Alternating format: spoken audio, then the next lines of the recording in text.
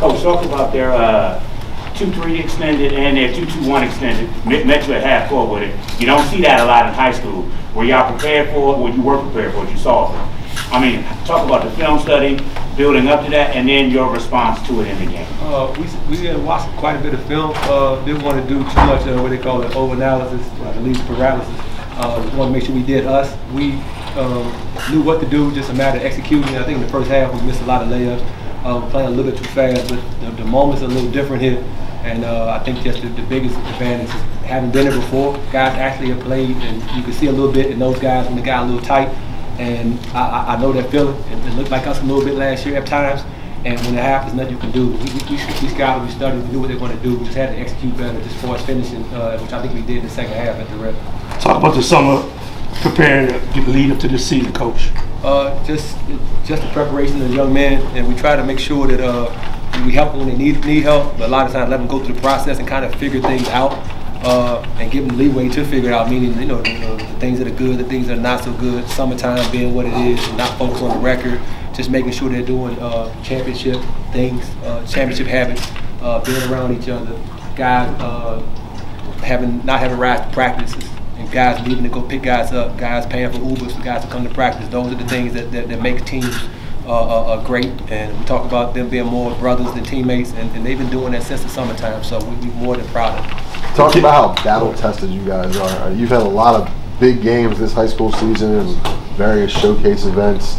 Um, against, you know, against really, really good teams that maybe you don't see in, in PG County public school basketball or MPSSAA basketball. Uh, you know, we, we, used to back before they came rated all our kids.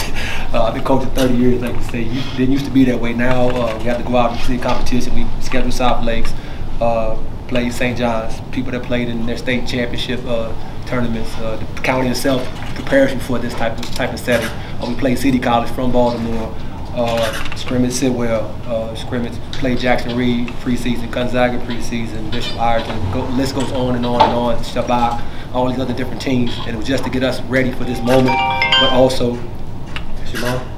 Okay, no, tell her to call you back. But just things like that. Like I say, those, those are things we do. We've always done it. Uh, this year, we just wanted to make sure we're ready, Mark. And uh, thanks to you as well and all the other events you guys run. Uh, can't forget about the Governor's Challenge. Marcus and, and you guys. They, they helped us out a lot playing on the bigger floor, playing last year's state champion Hayfield. So the list goes on. I'm missing maybe six or seven teams. We played a lot of good teams.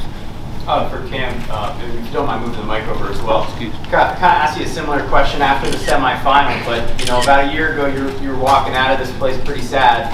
Today, you have this special moment, your whole team together, you guys winning a championship. Just describe this moment, what this means to you, what this feels like. I mean, ever since last year, like we were in the same area in this same time frame, and we didn't have a smile on our face. So the whole summer, the whole preseason, that was just our goal. Like we got to get back here and win. And that's what we did. We handled business. We trusted each other. It wasn't always smooth. It's been times where we not always on the same page, but when it came down to it, we are the last team standing. So at the end of the day, we the state champs. And, and coach, for you, um, you know, a lot of the times when we see a team winning a championship, everybody jumping up and down crazy for the last three minutes, two minutes, a minute of the game. It seemed like all your guys, everybody was hugging each other. It seemed like there's so much love with this team. I mean, what, what is it about this group specifically and the relationship you guys all have with each other? Uh, just being around. Uh, I've been knowing JR since he was nine years old. Uh, him and Cam, they've been buddies. And that's the thing about being in a public school. It's more organic.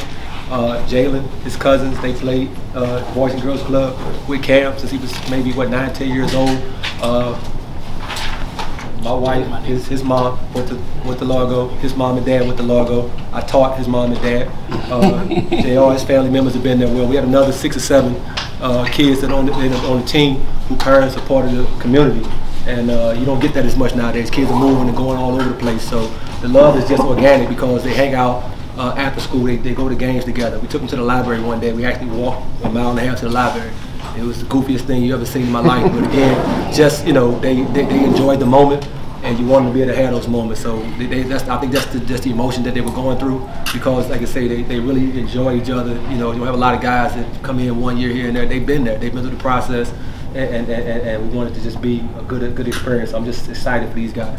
Cam, Cam, in this day and age, you see so many players that kind of have accolades similar to yours jump to the private school sector, jump to some of these big national schools.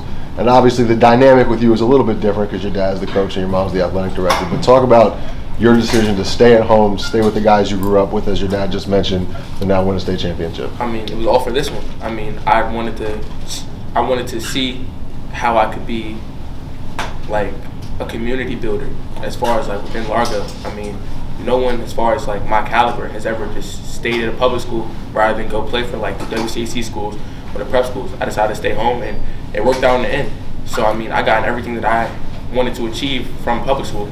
So and it's and it's really all because of these guys right here. Like I know it's gonna be like, oh well, he gets all the cameras, he gets that. But at the end of the day, these guys are the ones that push me every day in practice. The ones that they say, well, it's just Cam and Largo. It's really not. Like these guys have made big shots, big time plays, and that's why we're in the position we are today. And that's why I'm the player that I am today because of these guys right here.